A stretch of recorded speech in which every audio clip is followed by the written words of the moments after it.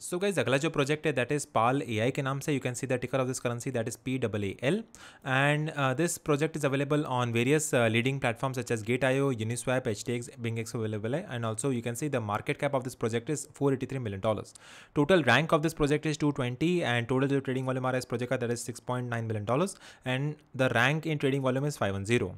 Total supply of this project is limited, which is equal to 1 billion number of coins, and out of which uh, the circulation may have already that is 800 billion number of coins. Uh, this project is built on Ethereum blockchain, and also you can see the main website, you can see the white paper of this project, and also you can see the social media handles such as Twitter of this project as well.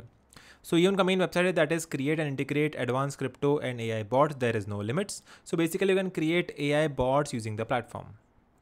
Apart from that, you can check out the white paper of this project and उनका जो social media handle पे है they are having sixty seven thousand followers and they are pretty much active on Twitter as well